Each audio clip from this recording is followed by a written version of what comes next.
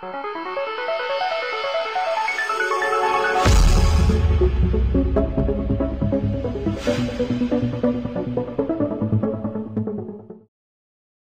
arrange daughter in such a way that all the vowels are together. So you have to consider all the three vowels that is A, U, E has to be always together. So how to do this one? You have eight slots, one, two, three, four, five, six, seven, eight and just combine these three slots which I am going to fix it for the vowels A, U, E. Now you can consider all the consonants as a single slot or single event and consider this as a single event consisting of three vowels as it is mentioned that they have to be always together. So combine all the three. So whenever you move this elsewhere, suppose it is to be moved in the middle, it will be moved all together as a single slot. So anywhere you move is going to be moved as a single slot. So now how many slots are there? One, two, three, four, five, six. Therefore six factorial ways are possible to arrange this. And then this A, U, E, though they are together, but I did not say that it has to start with only A. It can be arranged in different ways. So three letters can be arranged in three factorial ways. Now the next question is arrange daughter in such a way that no two vowels are together. So no two vowels are together is all the vowels are separated. So how to do that? Sometime you may feel that you can consider this entire thing 8 factorial minus taking out wherever they are together that is 6 factorial into 3 factorial. That is 8 factorial minus 6 factorial into 3 factorial. But this is wrong. The reason why it is wrong is you are removing wherever these three are together. But I say all the three vowels to be separated. It is possible that some of the place you may have A and U together E separated or U and E together, A separated or A and E together and U separated. So those things are not removed from this. You are only taking out wherever all the three are together. So you cannot do it in this way. Let us see for the other method. So here what I can do is as they have to be separated, the consonants don't have any condition, only the vowels has to be separated. So initially for the consonants, put this five slots and arrange them in five factorial ways. And then for the vowels, the positions in between the consonants and the extreme ends can be taken. So how many positions are available now? 1, 2, 3, 4, 5, 6. So 6 positions are available for vowels and there are only 6 positions, 3 vowels. So how many ways are possible to arrange them? As I said, whichever is larger will be N, smaller will be R. So it's going to be 63. So it's 5 factorial into 63.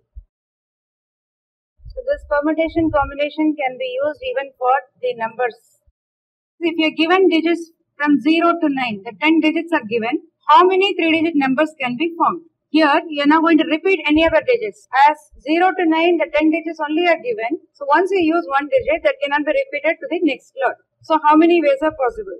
Now the same thing. First fill the first slot with any of the 9 because 0 cannot come there. Imagine one of the digit like for example at 4B, the one which is selected for the first slot. Now the 4 cannot come in the remaining slots and now you have 9 left out digits and all the 9 can come because 0 also can come here. So 9 ways are possible to fill the second slot.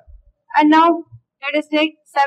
If 7 is selected for the second slot, now the balance as 7 also cannot come here. 4 is already selected, 7 is also selected and the balance what you have is 8 digits and all the 8 can come here. So this is a multiplication. So 9 into 9 is 81, 81 into 8 is 648. Now the next question is, out of the 648, how many of the numbers are even and how many of them are odd? So how to find that? When the repetition was allowed, that is, when you used all the digits, you had totally 9 into 10 into 10, 900 three digit numbers. In that, how many are odd and how many are even? As you are seeing that 0 to 9, there are 5 even numbers and there are 5 odd numbers. So to find the even numbers, the last slot has to be filled with any of the five. It can be 0 or 2 or 4 or 6 or 8. Again, the same thing, the first one 0 cannot come, the remaining 9 will come here and the middle slot can come, uh, can have all the 10. So therefore you have 450 as even numbers and how many of them are odd? The same thing because you have 5 odd digits, all the 5 can come here, 9 here and 10. So you have 450 odd numbers. But in this case, there is no repetition of the digit allowed. So slight change will be there. If you had to find the odd numbers, it's easier as you have 1, 3, 5, 7, 9. 5 odd numbers, any other 5 can come here. Out of this, now that 5 is selected, this cannot be repeated. For the first slot, Out of the 10, 5 will not come, 0 will not come. 0 also cannot be taken in the first slot. So the remaining you have 8 of them. So any one of the 8 can come here. Suppose 3 is selected here and 6 is selected here. Now the 2 digits are gone. There is no restriction for the middle slot. So any of the balance 8 digits can come here. So this is going to be 8. So the total is going to be 8 into 8 into 5 which is 320. These are the number of odd numbers. So odd numbers is easy which you can find out. How about the even? So one way of finding is 348 minus 320. The remaining is going to be even. That is 348. But using this permutation method, how you are going to find this? Three slots are there.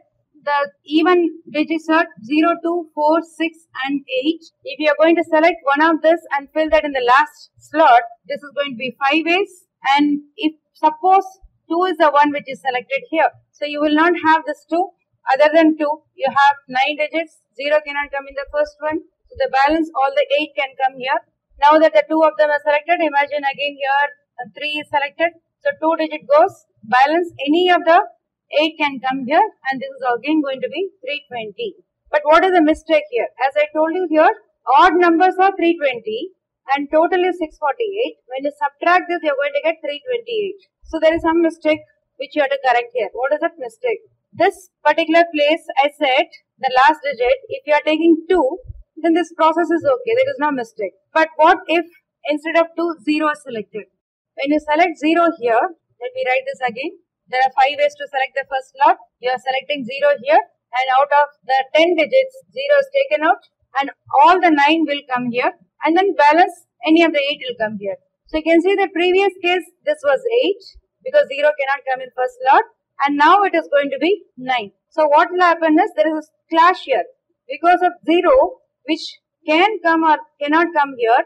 If 0 comes here, it's going to be 9. If 0 doesn't come here, this is going to be 8. So in that case, you cannot combine all the 5 and do this. So what you can do here is remove the 0, keep only these 4 or keep only 0, fill the last slot and then do this separately. This is not only for the numbers. Wherever you have a clash, that you have to do it separately and then add it. So when you have only four of this even numbers instead of zero, this can be filled in any of the four ways. Imagine again that six is selected here. So six goes from this. You have balance nine digits. Out of the nine digits, zero cannot come here.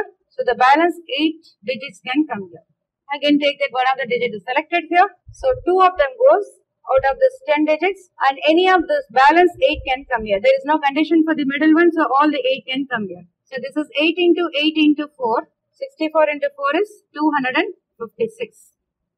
Now, the other one which you have to add with this, the last slot we have taken only as 0. So, it's only one way to fill this. Now that 0 is gone out of this, the remaining all the 9 are eligible for the first slot. So, fill with any of the 9 here.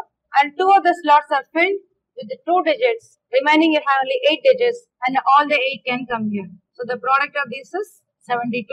When you add these two, going to be 328. So now you have 320 plus 328 which is equal to 648.